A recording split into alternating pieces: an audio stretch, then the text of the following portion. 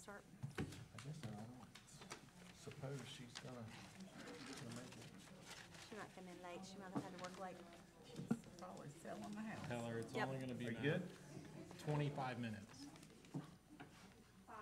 Okay. All right.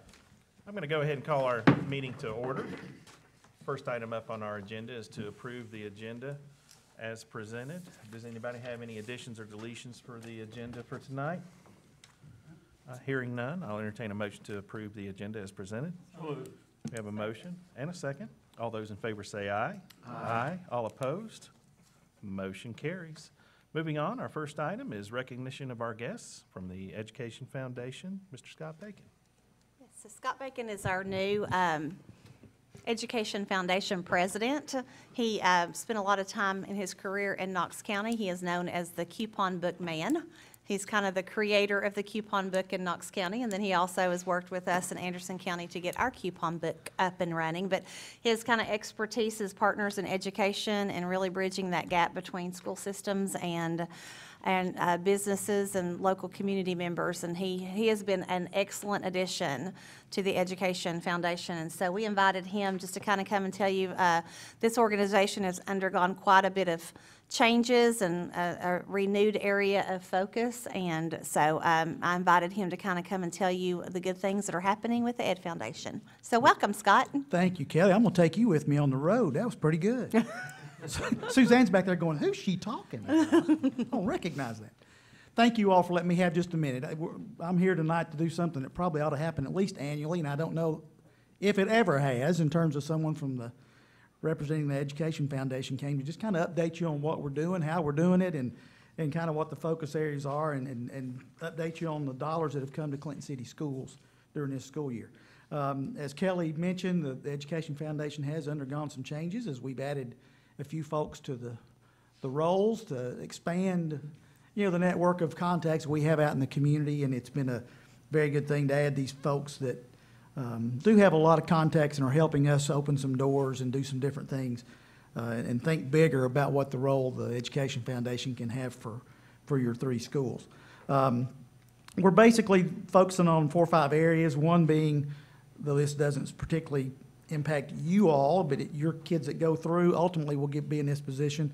Uh, The early post-secondary opportunities for high school students who are either in dual enrollment classes or um, middle college classes that they may be in at Roane State. And just because of the, one, the system being the way it is, you can only take so much of that scholarship dollars that the state provides, and if you exceed that, then you're paying on your own, and, and some of these kids who have um, some difficult financial situations occasionally will hear of a need and, and try to step in there and fill that. And those are limited, but they do happen occasionally. Um, you all know and heard about the Teacher Supply Depot, and that's something that uh, is in our, just finished up our third year this year um, and continues to, this year we had 250 teacher visits combined between Clinton City and Anderson County schools, and uh, that continues to grow, and, and more and more teachers coming and taking advantage of that and taking free items back to their, their classrooms. Uh, we're doing instructional grants and also health and wellness grants. And health and wellness grants are related to the 5K that happens in October around here every year. And so I'll share with you in just a minute what, what that looks like for Clinton City.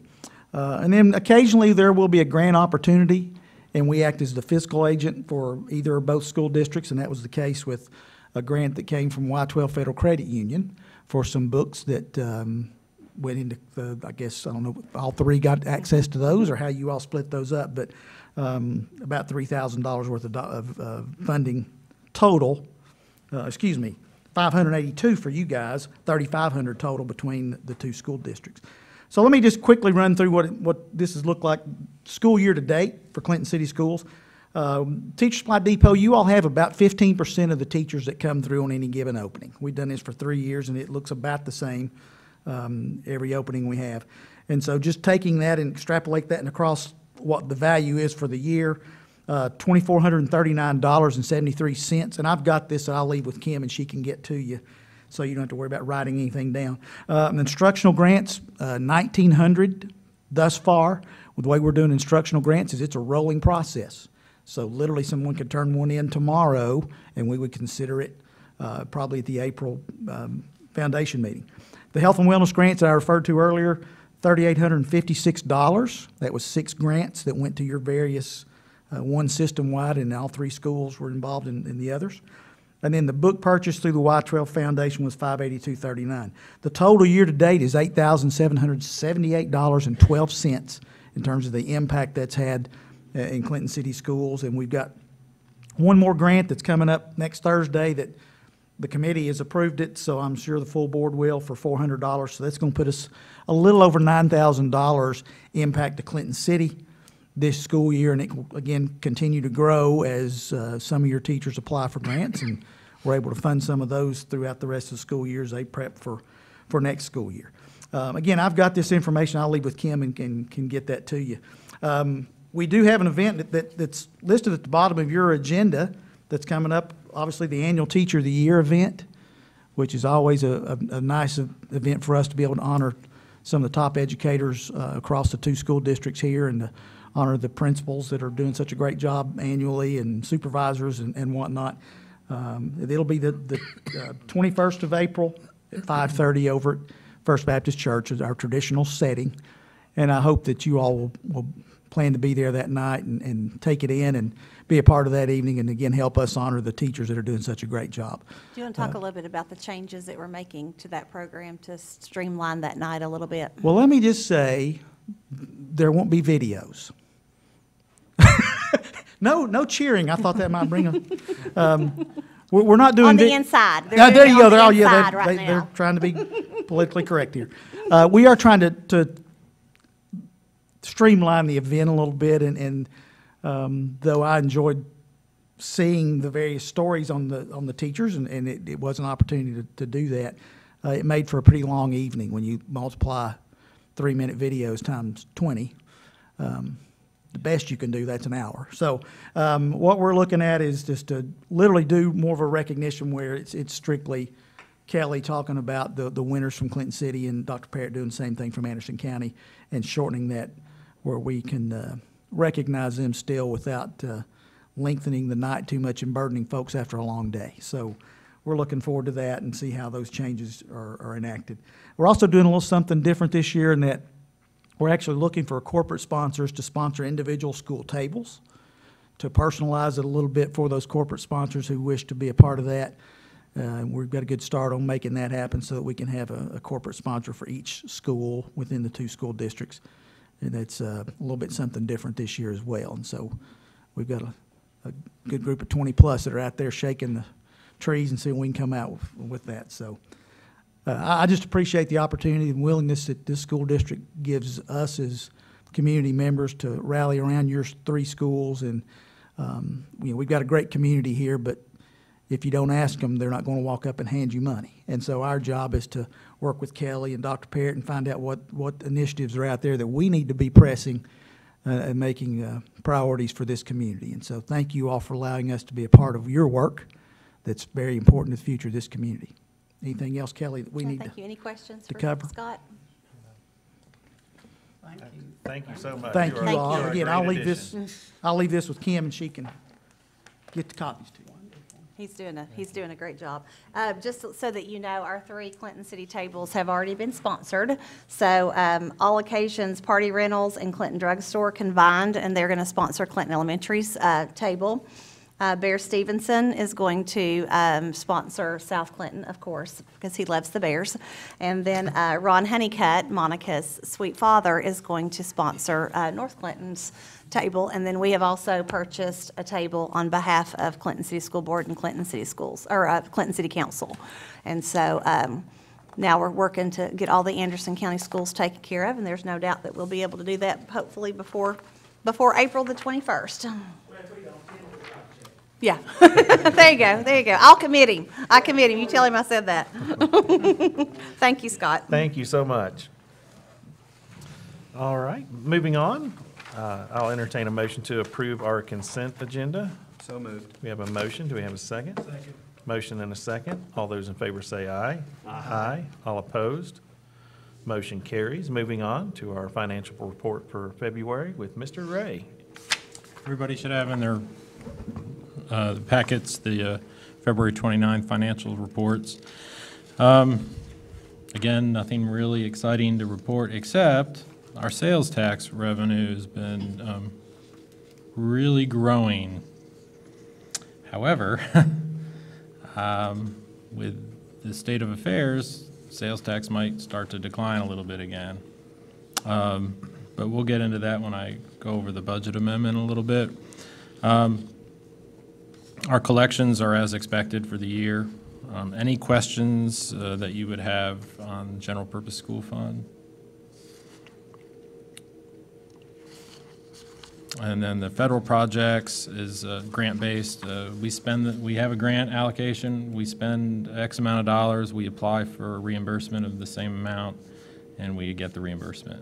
So we're uh, usually about 30 to 45 days in arrears on collections, and that's uh, above average. Um, Cafeteria fund, uh, we're looking at a slight surplus of $30,000 thus far at February 29th this year. So uh, we're still in the same direction, same path, um, which leads me to believe that uh, the pricing and things that we've approved is is probably in line where where it should be. So if there's any questions, I'd be happy to answer.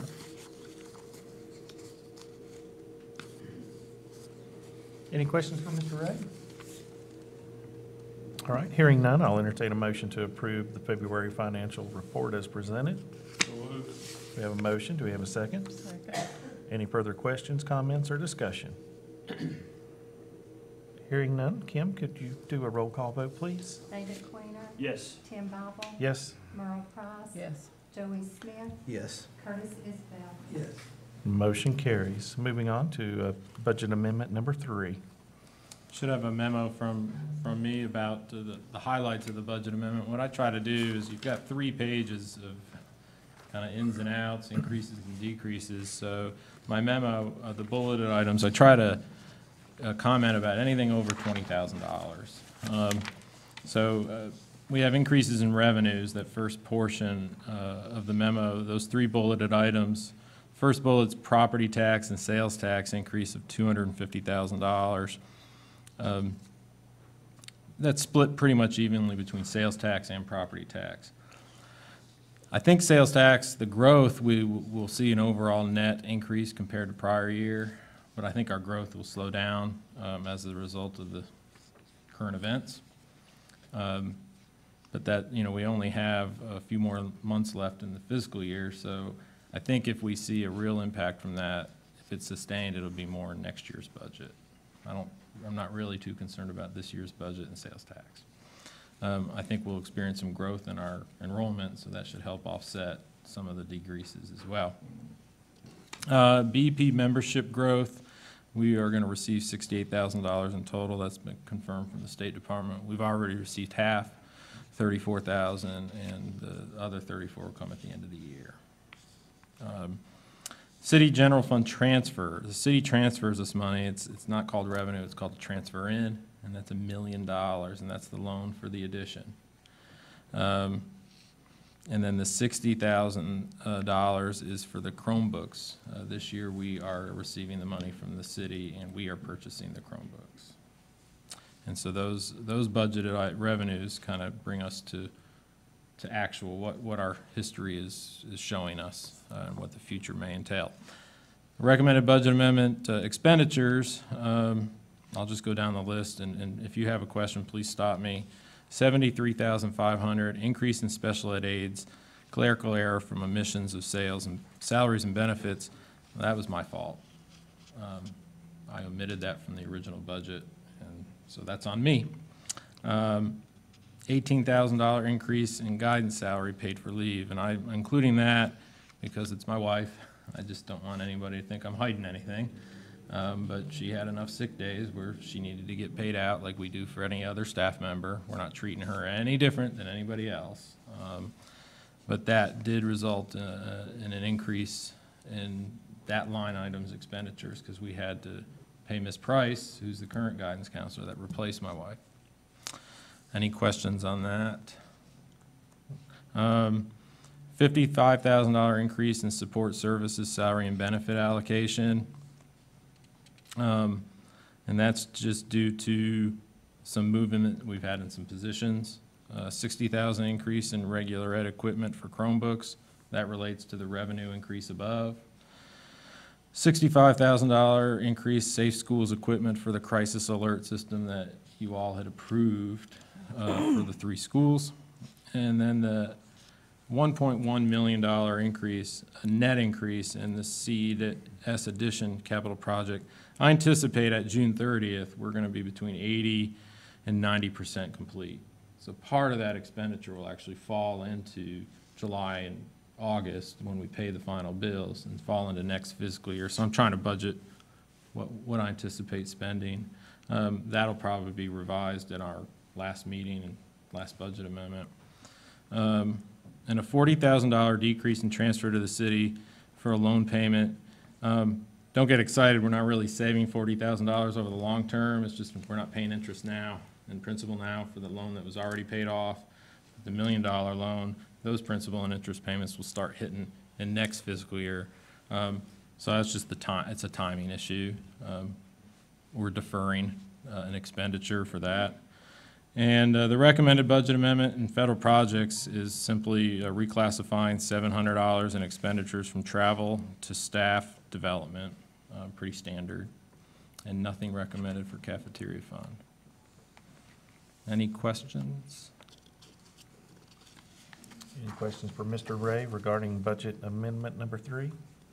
Looks pretty straightforward and routine.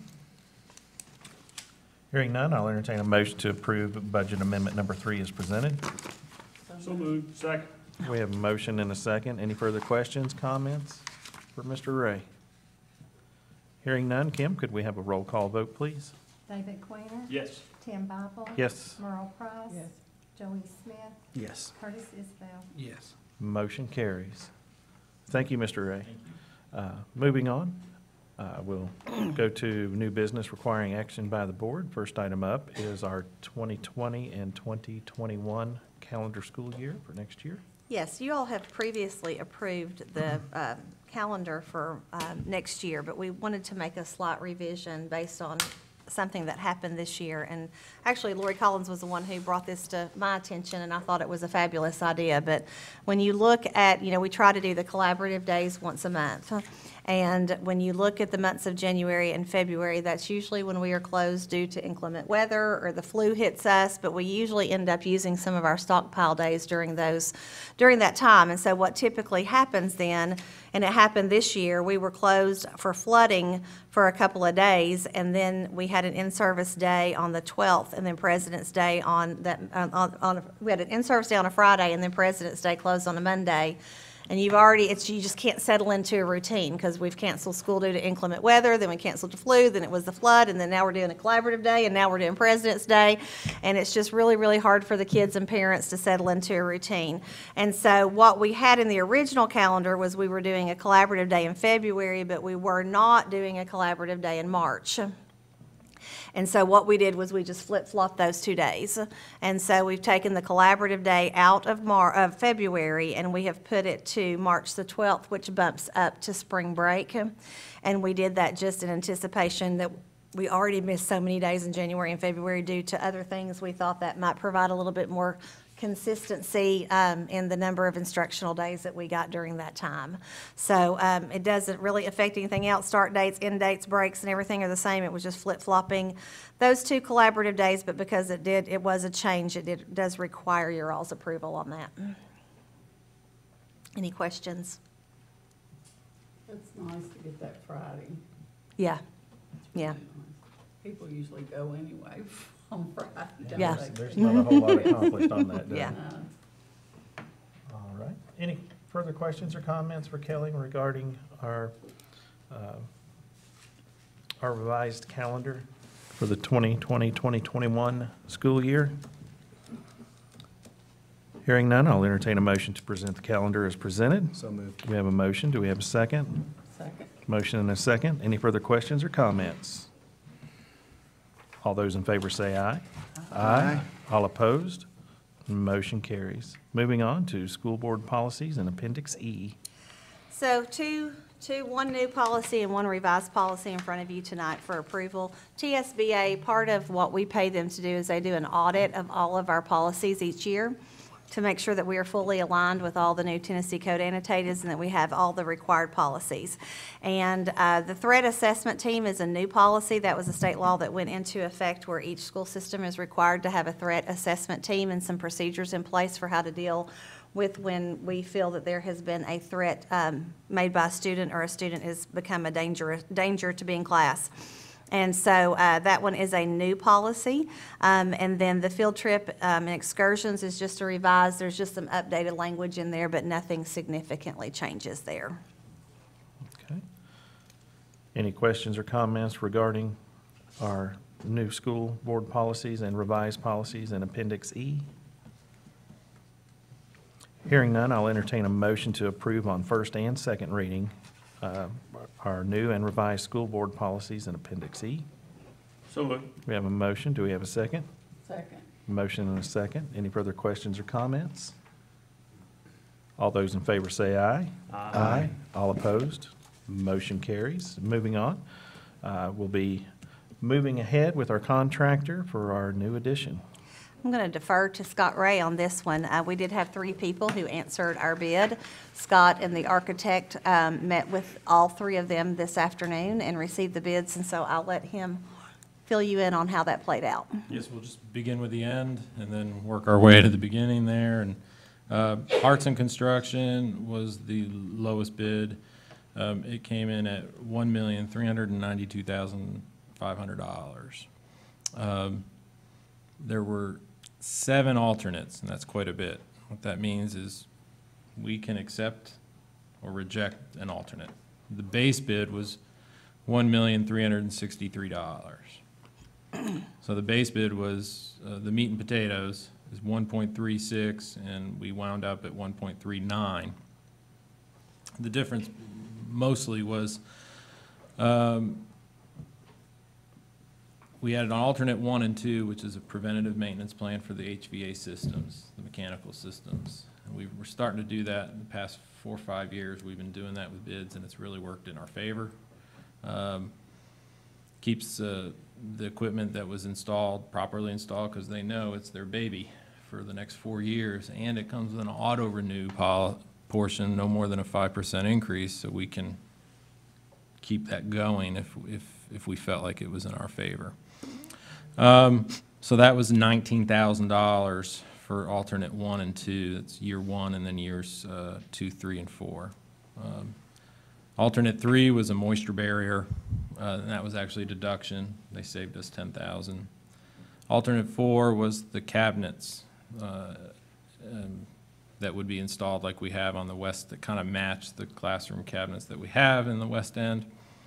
Um, Generally, that's a very pricey item, so I add, I asked it that it be an alternate, so I could price it out myself if, um, so for example, one contractor priced the cabinets at forty-three thousand dollars, and the winning contractor priced the same cabinets, because the detailed drawings, it's not just what you want to put in as a contractor, it's very specific. And the, the winning bid came in at, for cabinets, eighteen thousand five hundred. Wow. So for that price of eighteen thousand five hundred, I can't beat it. I can't do better on my own, so I've accepted that price as an alternate increase uh, from the base bid.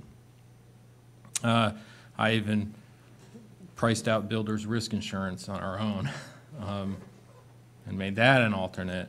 Again, they came in very close to what I got quoted, so I'm just going with what they have. Um, uh, There was an alternate for uh, uh, the parking lot.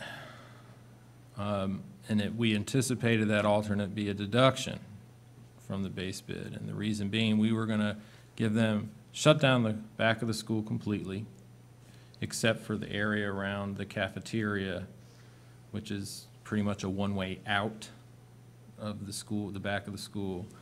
So that would be the only entrance and exit. And we were thinking that the contractors would give us a high value to that, so a large deduction. Well, it was only a six thousand dollar deduction. So we, my um, recommendation is that we not accept that deduction. Um, keep the back parking lot, keep the flow of traffic for dismissal and pickup in the back as it is now. The route may change, but the flow will be the same. I think there's somebody in here that might be cheering back happy. there. Now, as a board, you can always choose to accept that alternate and we close it down, but um, my recommendation, just kidding, is not to do that.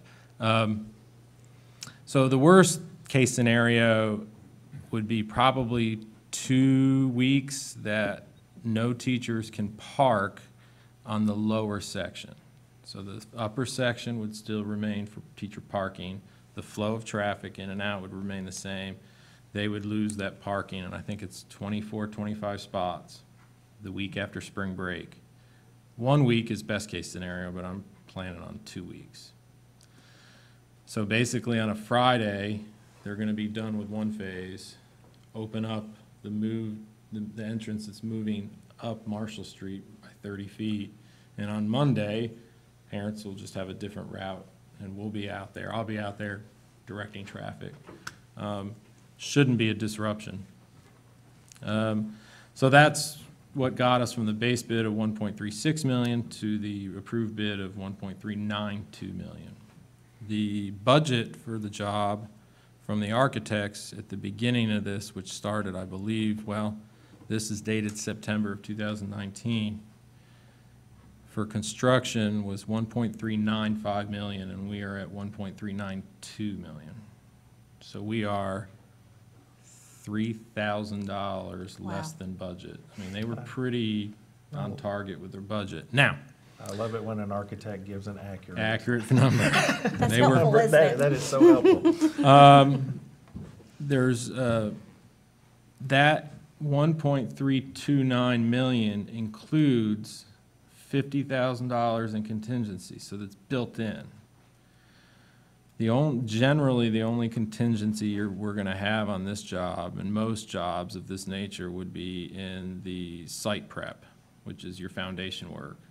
When they excavate that playground, they may have to dig down more and remove more dirt and bring in clean fill or rock, um, or they may not. But we have fifty thousand built into that. So best case scenarios, they don't run into any issues, so that one point three nine two million job now becomes one point three four. So we save fifty grand. It's already built in. That would be a change order deduction for us. So, um, other than that, um, I, I guess my recommendation is, one, we accept, um, you allow us to enter into a contract with Hartson Construction. The only thing that's unknown at this time, and I'm working on it, is the subcontractor for the mechanical, which is your HVAC. Without saying any names, um, we have some prior experience with the subcontractor that the general contractor is using. I'm asking the, and the general contractor has agreed, he's gonna send me a list of everybody who sent him an estimate. So the way it works is the general contractor will just send a request to all the subs that he wants to work with, or sometimes the subs will even just send him a quote or bid and then he'll put that into his uh, base bid, and that's what, that's what he comes up with. That's what makes up the 1.363 million. So the, uh, if, if we change mechanical and uh, contractors, um, it could increase the cost a little bit, could decrease the cost a little. I think I can, we can get it cheaper um, by using a different mechanical contractor. So That's it. basically, I'll, I'll, I'll just say it. Yeah. It's the contractor that we have used for South Clinton Elementary School where we've experienced a very, Lots of trouble. lots of trouble. And so, um, we don't want to have a repeat of that. And so we'll just look at the other people who bid and then we, we will choose another based on that. And it may have a little bit of a slight difference on the, the pricing, but I think just on past experience, we're already replacing units there And we should not be replacing units there. They're only, what, five, six years old? That was the job that So- started us down the path of the extended warranty program. Yeah.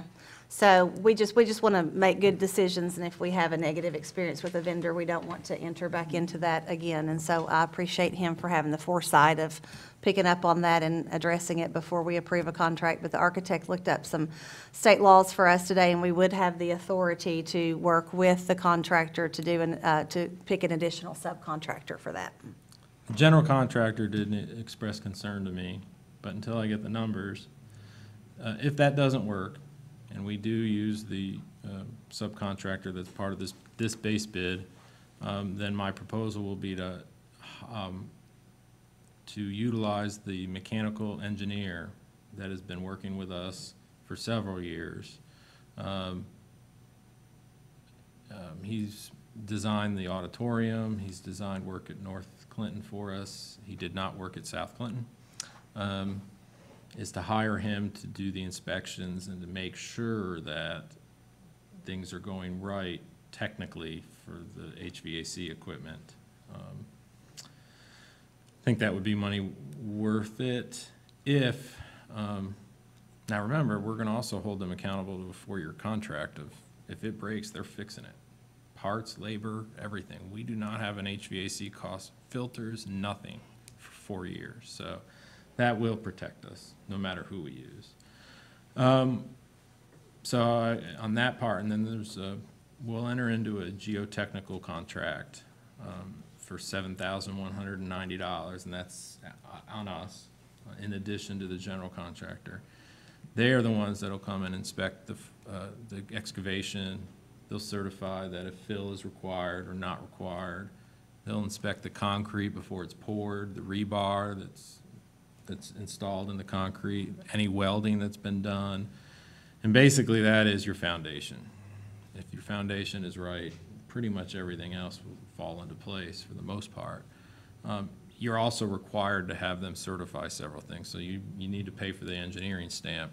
But that's a service we, we'll pay for on our side, um, to do that.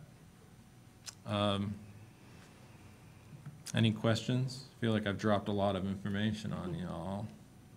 Have you, um, gotten recs on this contractor, the general contractor? I did not know the name, so we, uh, there was a young architect there who knew technology, and I called it Facebook stalking, but I, she looked them up on the internet.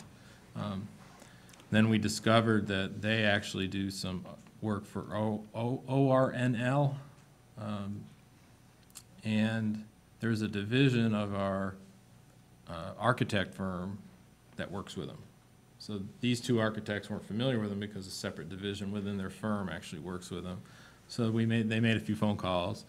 Um, We don't have, I, I can't say that we have somebody that said, oh yeah, they're the best, but I don't have any information that says, there's nothing that gives me pause. I don't have any information to, to think otherwise.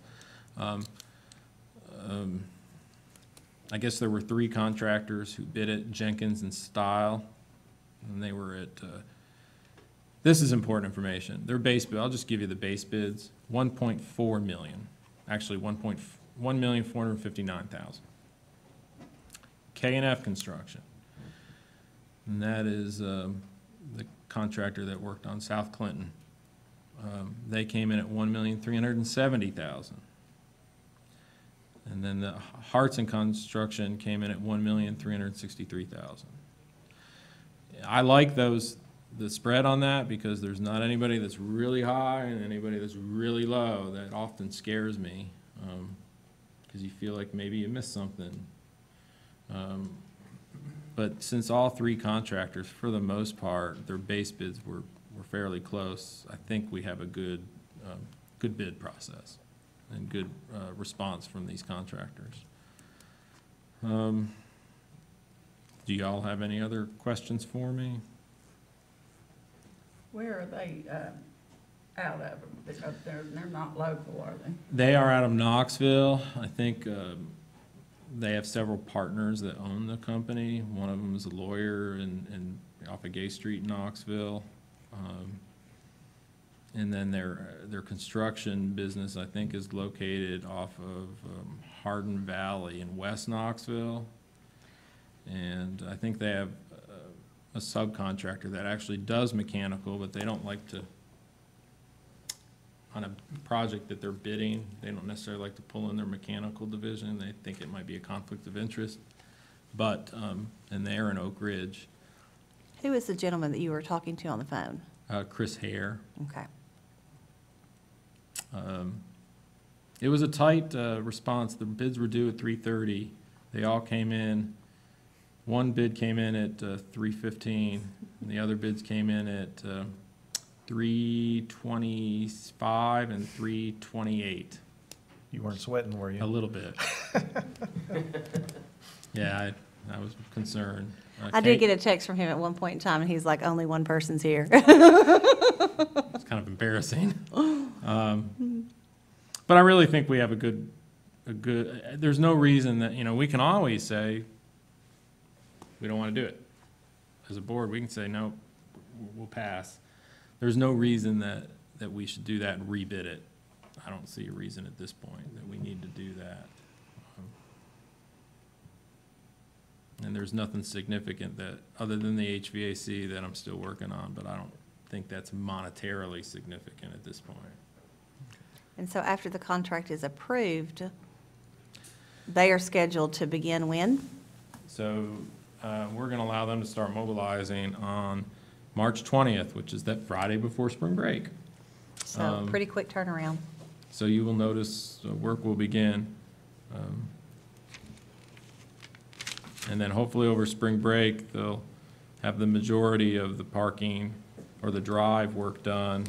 And, you know, concrete takes, you know, five days to cure before you can dry on, drive on it anyway. So you're, you're definitely looking at at least one week after spring break where, uh, teachers aren't gonna be able to park in the lower section.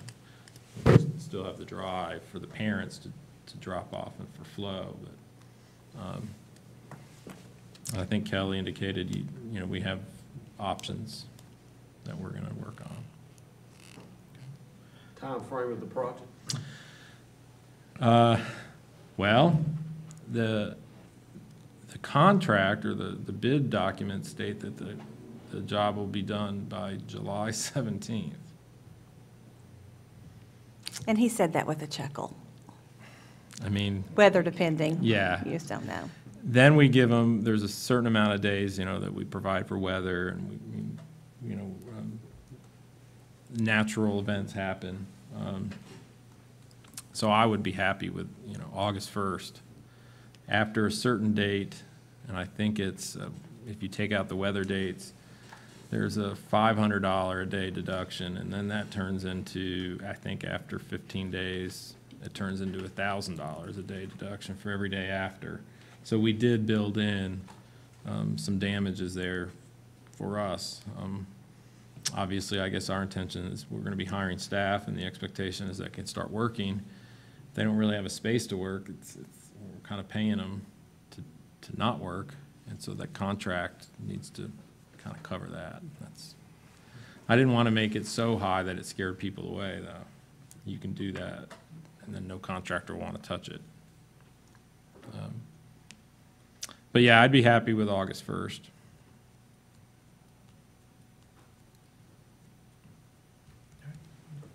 Any further questions for Mr. Ray?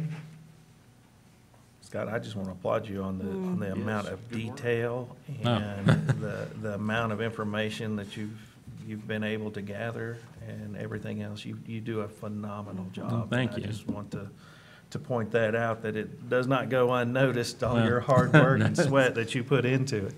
Um, You know, it is, uh, this is our first construction project in a long time, so, um, you know. Hopefully, it'll go better than South Clinton. uh, Well, hopefully so, hopefully so. But, um, you know, we're always nervous as we go into, into this, so, but I think, I think you've got your bases covered. I think, uh, I think it's a great recommendation. Um, You know, I, I fully think that, uh, moving forward with the timeframes that you've got, I think, uh, I think it's gonna work well. You've done a great job. Thank you. Yes. What are you going to call this? Is it the west-west wing? I've really been thinking West about Wing that. I squared. just wondered. Well, I'm smelling a fundraiser. Maybe we could do a fundraiser to name It's the the Blaze addition. Wing. We're naming Blaze everything else. We'll just I'm call sure it E.T. Sammy will hear this and, and probably have it named um, with a check, so. I like the way you think, though. Yeah. I'm not sure if you all are aware of this, but Scott wears many hats in his former, so the fact that we've been able to land an accountant who has taught school before, but he is also, he has his contractor license, and so when it comes to things like this, he just is able to bring such a well-rounded perspective of all areas, and so he's done a great job. Right, There's, there's, Thank you. always with Scott in the room, there's very few, if any, surprises ever. Sarah may Well- disagree with you. We'll decide that in, in- in about six or eight months, Yeah. but up till this point. Pressure's on, buddy. I feel like I'm being set up, maybe. You're good right now, baby. Stay on that. No All pressure, right. Scott, no pressure. All right, any further questions or comments for Mr. Ray or, or Kelly uh, regarding our contractor and/or process, times, dates, or revenues, or anything? Sounds good. All right, hearing none, I'll entertain a motion to approve uh, Hartson uh, as our contractor for Clinton Elementary School project. That is correct, right, Hartson? Mm-hmm. So moved. All right, we have a motion. Do we have a Second. We have a motion and a second. Any further questions or comments? All right, Kim, could we have a roll call vote, please? David Quiner, Yes. Tim Bobble. Yes. Merle Cross. Yes. Joey Smith. Yes. Curtis Isbell. Yes. Motion carries. Moving on, we'll move into reports and information. Okay, we'll start with North Clinton. Ms. Ryle, since you're up front, we'll let you come first.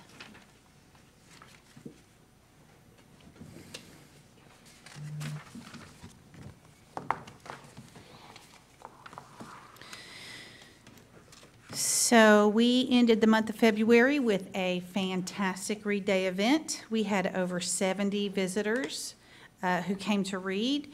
We had lots of people who supported us that day. Ridge Church provided gift bags uh, with gift cards and other kinds of goodies in there to thank readers for coming.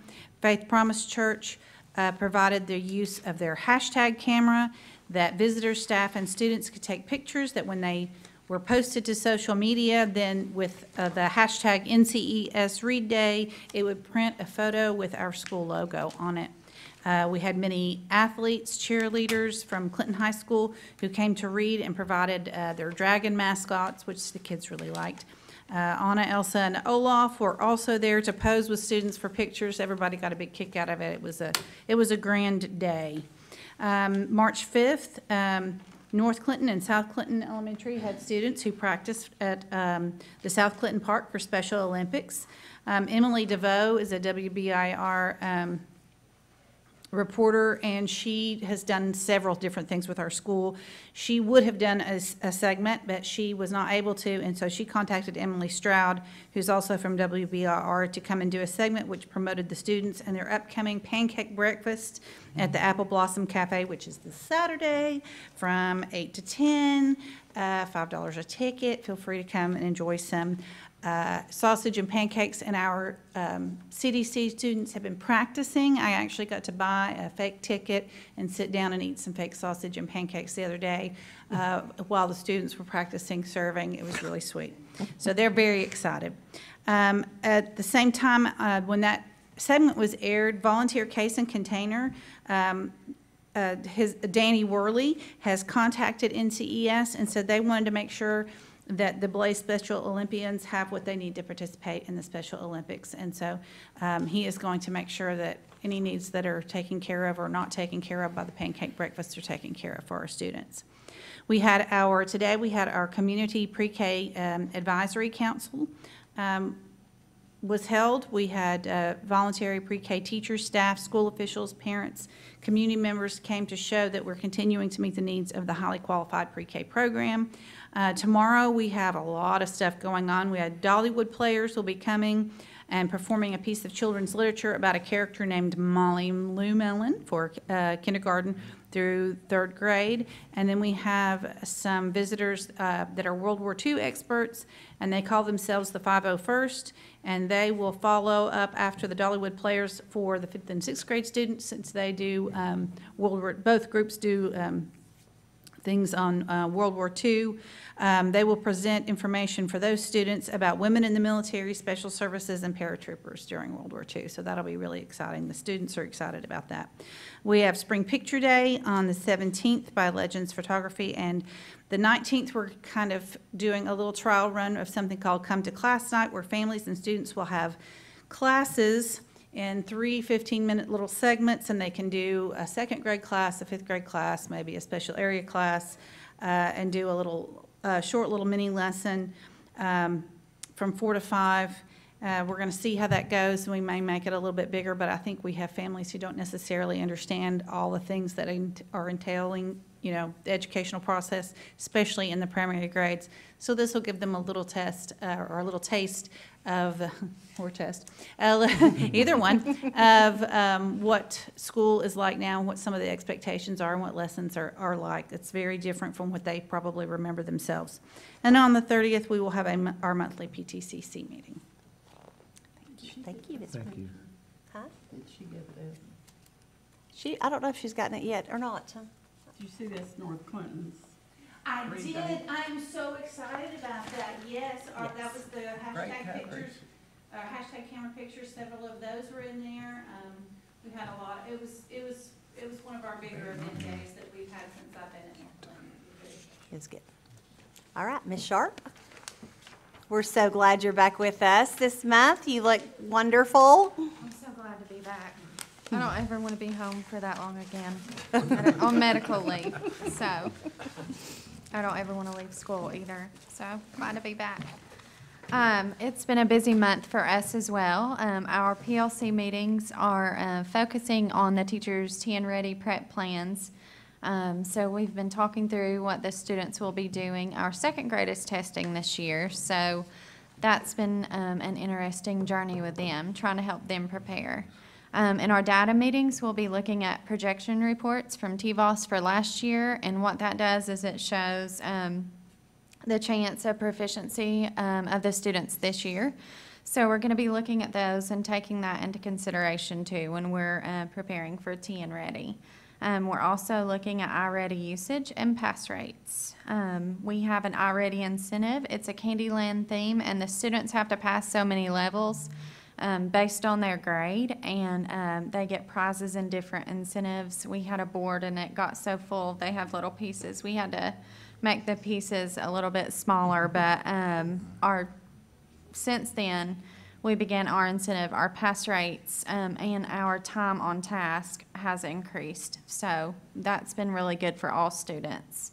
Um, our student leadership right now is raising money, uh, for Children's Hospital. Um, we hope to give them a nice donation, and the class that raises the most money gets a pizza party, so it's a win-win for everybody.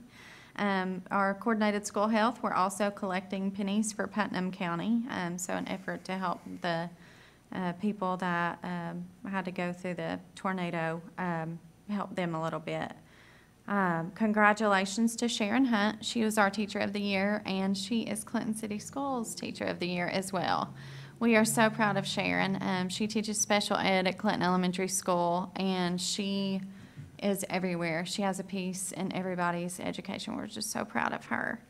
Um, on Thursday, the 13th of February, we had empty bowls from 4:30 to 6:30, and Clinton Elementary raised around $4,500. So we were um, super proud of our students and teachers and thankful for those who came um, to that event that night.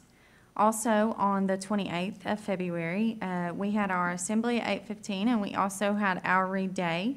Um, The students had a wonderful time. We had um, a little celebration at the assembly um, where we did a few cheers and things. And we would also like to thank the Courier um, for recognizing Stephanie Brock during Literacy Week as a champion of literacy. Um, on March 10th, which was just a few days ago, we had our monthly leadership team and we discussed incentives for TN Ready Prep and effort, and we also discussed um, the traffic, um, which hopefully now may change a little bit, so I can meet back with, back with them. They'll be excited, though.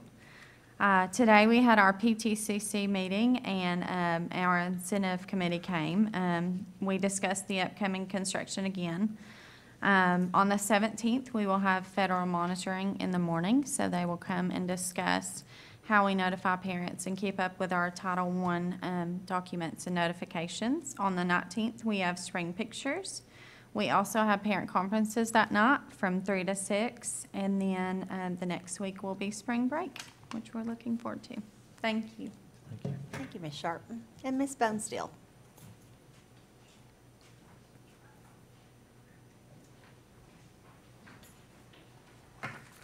So March has already been a super fun month. Um, we had our annual STEAM night on March 5th. So STEAM stands for Science, Technology, Engineering, Art, and Mathematics.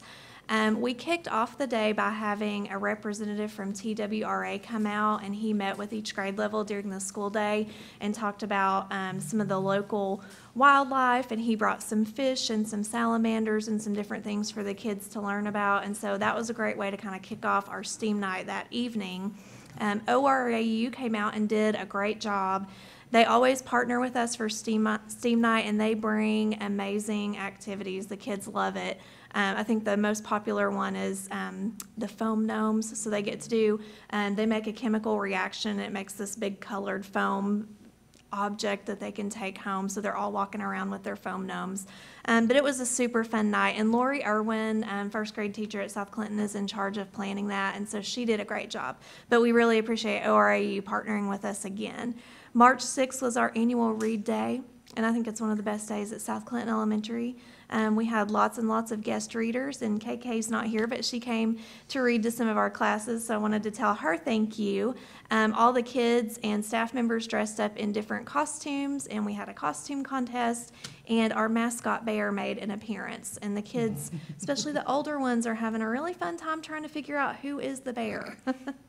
so they're So trying to you guess. mean a real bear, not Bear Stevenson? Right, Like it's a, real- it's a real, it's a black bear mascot. Yes. So, um, he was walking around the hallways. Um, he was one of the guest judges in the costume contest, and the kids were looking around. I could see the older ones trying to figure out what teachers were in the gym and who was maybe missing. So they haven't figured it out yet. Um, on March 10th, the Dollywood players came and performed for kindergarten, first and second and third grade. And they performed Stand um, Tall, Molly Lou Mellon, and they did a great job, and we appreciate them offering that to us every year. Coming up on March 19th, um, South Clinton is hosting the Clinton City Schools Grand Families Night. So we're really excited about that because we have a lot of um, grandparents and other family members at South Clinton that are raising children, and so it's a good opportunity for them to um, talk to some people and get some good resources. We still have a lot of fun after-school activities going on. We're doing third and fourth grade math groups every week. Blaze Readers Society is still happening. Um, Art Club is taking place for um, first, second, and third grade. Orff Ensemble is still going strong. Um, fifth and sixth grade band, the Steam Bridge Club. And I do want to say congratulations to Lindsay Dungan. She was recognized as our champion of literacy during Literacy Week by the Clinton Courier. So we're really proud of her, but I think her kids were even more excited about her receiving that award. They were so excited to watch her get that and to take a picture and for her to wear her T-shirt that she got. So um, congratulations to her. Thank you. Thank you. Thank you, Ms. Bonesteel. That concludes our principal reports. All right. Uh, Please make note of the uh, teachers banquet that's coming up and also the support staff banquet that's coming up. Um, Next meeting will be here. Um, Sixth grade graduation is May the 21st. And so uh, we'll move on to the director's report. Isn't that crazy that we're announcing sixth grade graduation? That just, this year has flown by. I've got quite a few updates. Some of them had already been said, so I'll try to go quickly. I know this has been one of our longer, one of our longer meetings, but I want to keep you update, uh, up to date on a few things. The first bullet, we're going to pretend doesn't exist.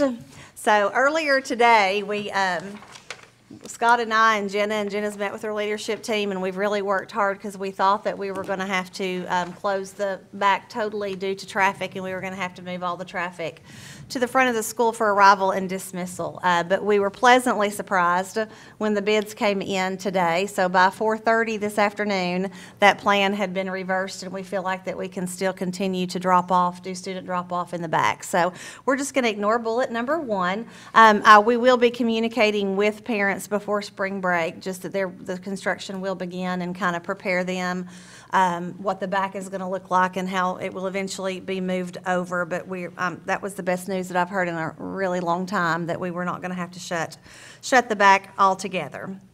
Um, I want to spend some time talking about um, the, the recent events of the coronavirus and kind of tell you where we are um, with Clinton City Schools. Um, we are watching um, the spread of this very, very closely.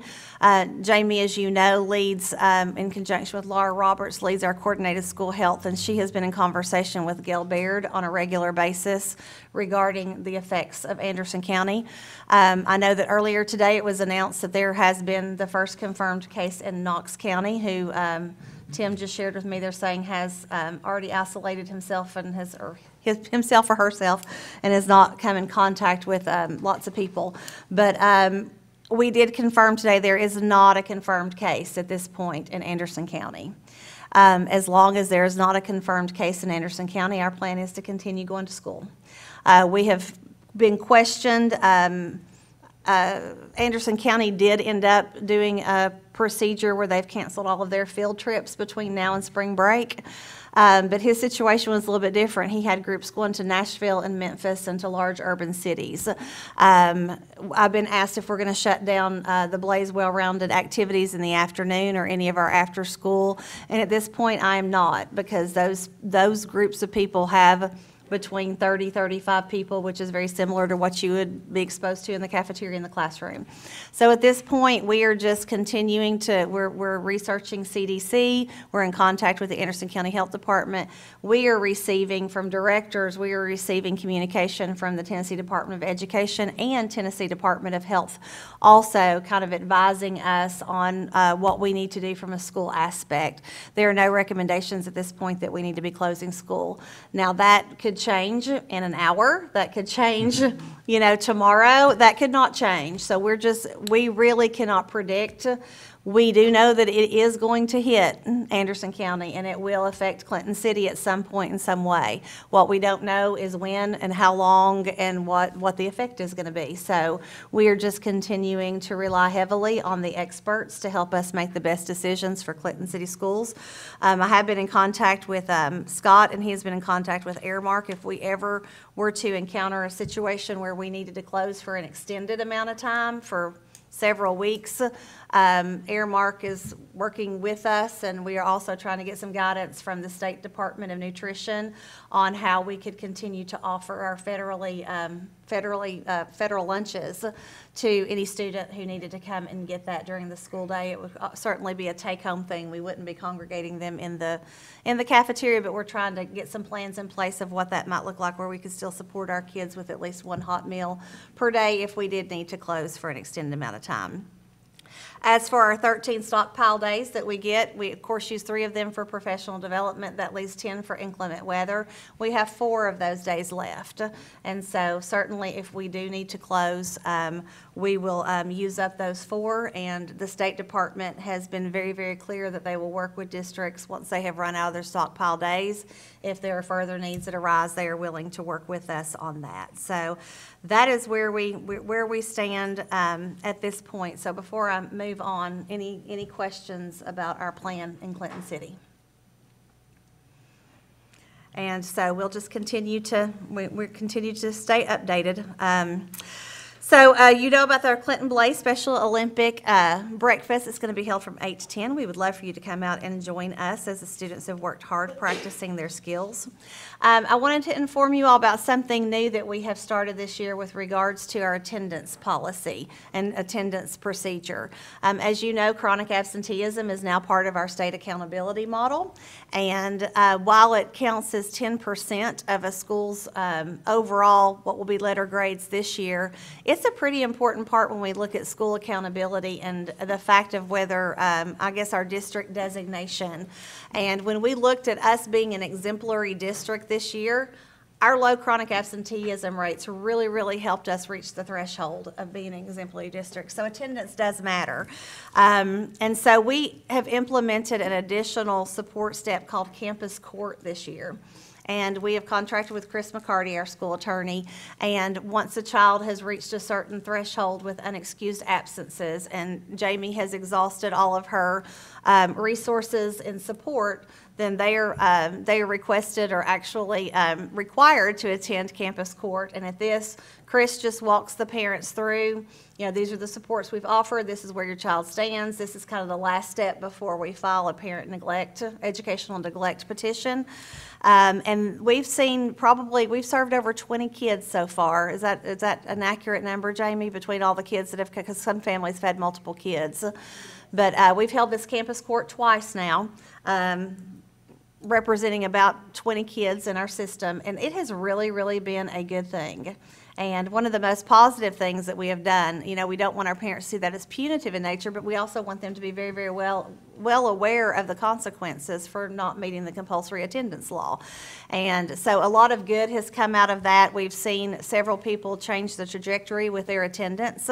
But with that said, we do have a few. Um, I want to prepare you that we do have a few that in the next couple of weeks, we will probably be moving towards uh, filing um, educational neglect. That is not something we have typically done in Clinton City Schools, but I think we have to send a clear message that school is important and your children need to be in school. If we're going to be held accountable for the scores, and if that's a part of our accountability, then I need to, we need to be holding parents accountable for bringing their kids to school. So more to come on that. Um, we will be um, having, hosting federal monitors in our building uh, next Tuesday and Wednesday, the 17th and 18th. This is part of a, um, this is just, we're in a rotation cycle. They actually have not been to monitor us in probably seven or eight years, but this is a programming and instructional monitoring. So they'll be monitoring Title I, Title II, Title IV, and um, all Suzanne's IDEA, both her special ed programming and her special ed pre-K. So they'll be with us for two days, but the preparation for this has been immense. They do it, you have to submit everything online, and then they come in for a visit. So I just want to publicly commend Lori Collins and her work that she has done to prepare the system, and then they'll be attending, um, let's see, Clinton and North, correct, Lori? Clinton Elementary and North Clinton will be the two site visits that they do. She has worked endless hours among and above and beyond everything else that has been on her plate, and she has just done a remarkable job getting ready for this monitoring. So, um, as we said, they're, they're going to come, we're going to learn. If we're doing something wrong, we'll fix it, but I think they'll be pleased with what they see. Then, of course, our Grand Families Night on March the 19th. That's always a big success, and I think we have over 20 vendors that will be coming this year to support grandparents who are raising grandchildren. Um, then we got a pleasant surprise this week that I wanted to let you know about. Um, Kristen Walschlager, she works um, as a liaison with CNS, where the Y12 um, is in Oak Ridge. And uh, as you know, we offer a week-long summer Biz Town camp to our students free of charge. And that has been a cost that we've always incurred in Clinton City Schools using instructional funds to pay for that. And she um, called and asked, um, I think Callie Archer actually sent her our way, so we owe Callie a great big thank you. But anyway, she actually called and has agreed to sponsor our Clinton City Schools camp for this year. So she, uh, CNS is going to pick up the $1,500 tab for that this year. Um, also, ET is hard at work just trying to see how many well-rounded things that he can expose our children to in the city of Clinton. So we are going to be offering a tennis clinic in March and April, and uh, the tennis registration forms are flowing in. My box was full, uh, full of them this morning. Um, Ernie Brooks, who actually, I'm not sure if you all know who he is or not, but he um, actually attended Clinton High School um, and uh, played tennis and I believe maybe track. But anyway, his son is, uh, he works at SL and is a good community partner to us. And Stephen Brooks, he serves on um, several of our um, community committees and is a big support to us. That's his father, and he's going to lead that, and he's gotten lots of tennis, I mean, the people who are coming to lead this for us are just amazing with a, a plethora of tennis experience. They've gotten tennis clubs to donate rackets and, and uh, tennis balls to where if a student doesn't have a racket, that doesn't keep them from participating. So we look forward to that happening at Lakefront Park. Um, our next collaborative day is going to be on March the 20th. Of course, that will focus on testing. Um, we are moving towards an iPad, iPad platform for our kindergarten teachers next year to where we would be one-to-one with iPads in all of our kindergarten classrooms. They're going to get their first set of five iPads on this day so they can begin to implement those in small groups and just kind of play around with some of the apps and kind of see how we want to integrate that once we become one-to-one. So that will happen on that day. And then special area teachers will be doing collaborative planning as we're trying to plan for the art fair and um, some of our other wonderful events in the spring. Um, and then if you take a look down, we, uh, we can't do anything in Clinton City without a logo or some sort of promotion. You know, that's the way we function. Um, we are uh, changing a little bit of our sixth grade uh, one-to-one technology for learning program. And so they will be receiving a new Chromebook at the beginning of the year. And then we are going to pilot a program next year and allow students the ability to take home that Chromebook um, with them. And so uh, we came up with a nice program logo of Clinton City Schools Chrome Home. And I need for y'all to love that logo a little bit, if, if hopefully you get it. Do we get it? The first version, Todd Temple did that for us, and the first version that came, I have to say, had E.T.'s face in the middle of it. And, Wait, course, yeah. E.T.? E.T., E.T. Stamey's Oh, face was in the middle of that face. And so we got a big kick out of that, and uh, so um, I've got that saved for something special. I'm going to pull that out on a special day. But anyway, I just, we thought that was a nice play on, um, and who was it? I, I- was it, uh, someone didn't like it because they didn't think that kids would know who E.T. was. And we're like, all kids know who E.T. They, they, they, they, they know E.T. So anyway, so that's our fun little play. I thought you might enjoy that. You'll see that on social media and all of the communication that goes home.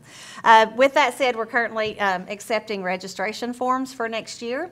Um, so we're um, eager to see what preliminary numbers look like.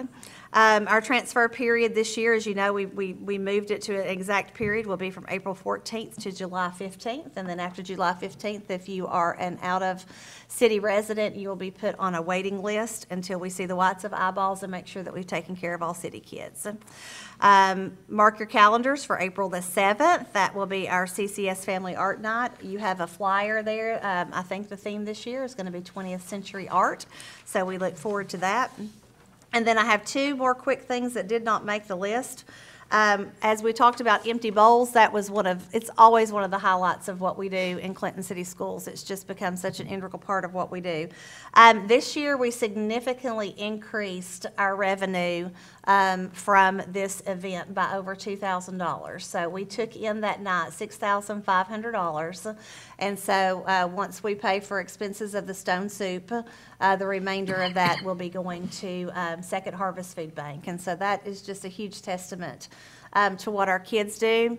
And just to give you an update, um, I'm telling you this enough in advance before my evaluation happens, so you might forget. You know, the first year with the bowl, we started off as forty-five dollars. Remember, David Queener, you bought my bowl. It was a pity buy, but you bought my bowl. So I would think that I would get better each year, but the second year, it sold for thirty-five dollars. And I thought it was really a better bowl, but it sold for thirty-five dollars. So this year, I hate to say, but I'm still on a decline, and Sweet Joey Smith took pity upon me, and I got twenty-five dollars for my bowl. So I'm like on a downward spiral with with my bowls. So I'm going to seek the help of some assistance next year from from someone. I think I've met. I've actually met a fifth grade boy that is. He said that he would be happy to help me with my bowl next year. So I'm going to take him up on that offer and see if I can't recoup some of my funds. But thank you, Joey, uh, for I having. really liked it. Thank you for having pity upon my, up- upon my ball. Now, I guess another school board will have, member will have to have pity on me next year.